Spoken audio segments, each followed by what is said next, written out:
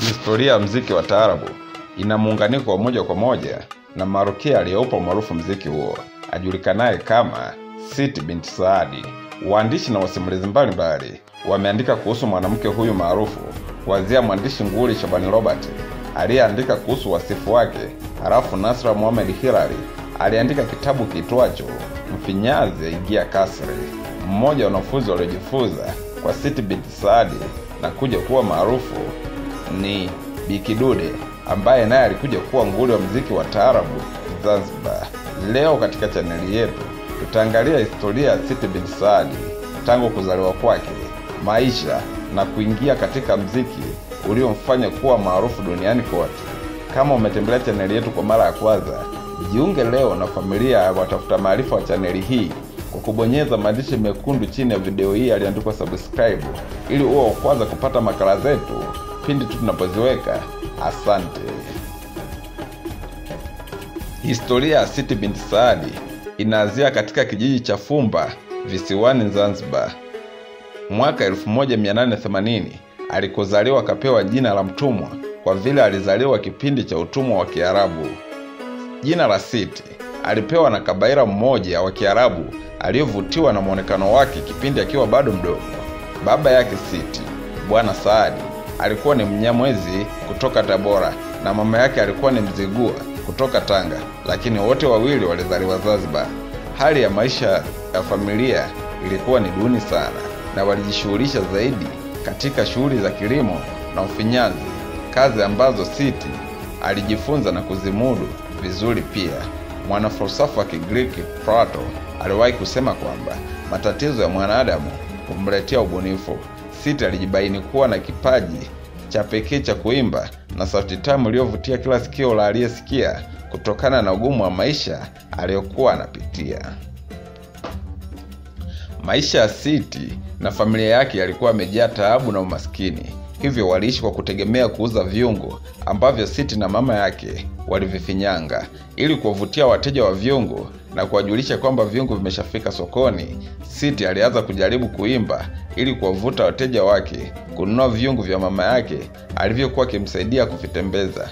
Siti alipoimba, sauti yake iliweza kupaa na kusafiri kwa umbali wa maili nyingi, na hii ndiyo ilikuwa ishara ya watu kujua kwamba vyungu vya kina mtumwa, yani Siti na mama yake, vinapita leo. Uwezo wa kuimba ulimfanya kufananishwa na mtu mwenye mapafu yenye nguvu kama simba, kutokana na alivyoweza kupaza sauti yake mbali na bila kuachia pomzi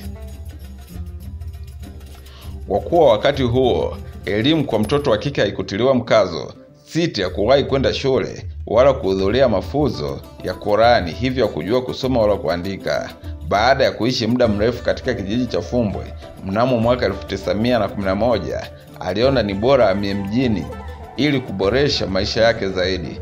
Ujio wake mjini ulikuwa na neema, kwani alikutana na bwana mmoja wa kundi la mziki wa taarabu lililokuwa linajulikana kwa jina la Nadi Ikwani Safa aliyeitwa Mahusin Ari.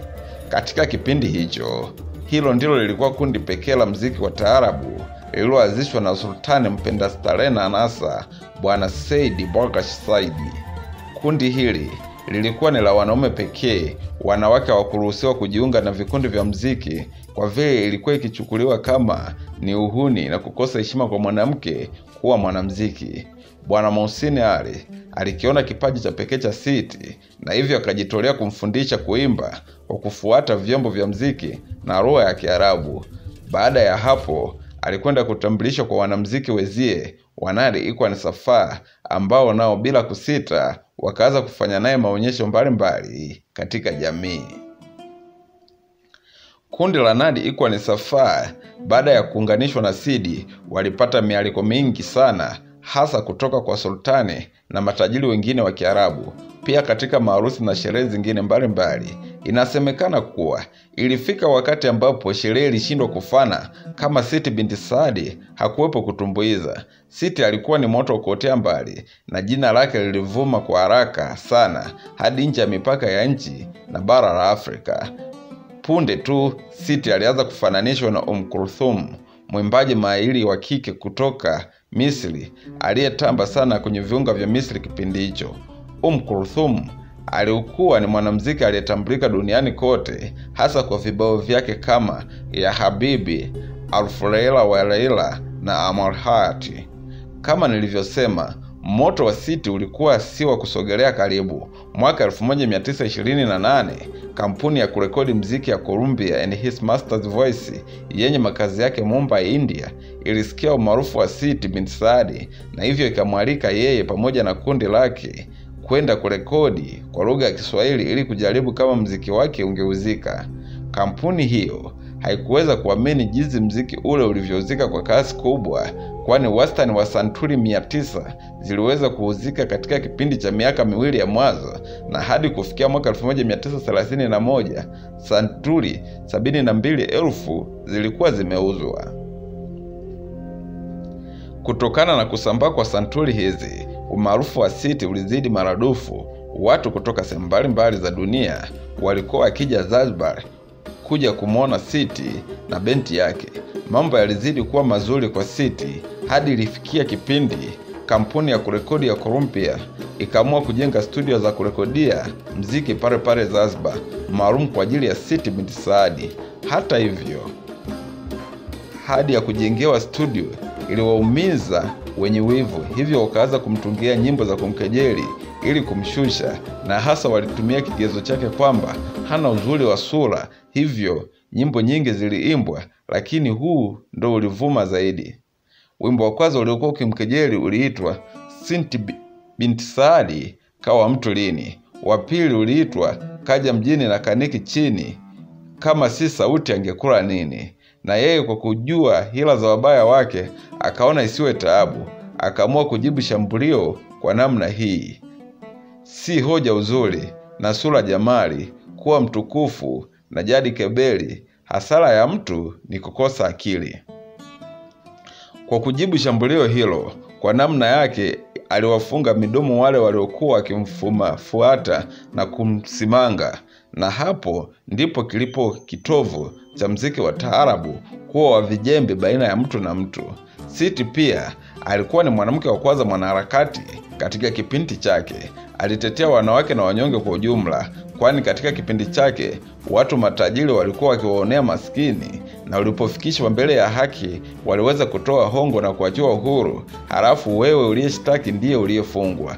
Pia kipindi hicho ndipo wanawake walikuwa hawana kauli kwa desturi na tamaduni za Kiarabu. Mwanamke hakutakiwa kufungua kinywa mbele ya mwanaume isipokuwa tu pale alipokuwa akikubali kauli iliyotolewa na mwanaume, yani Rabeka.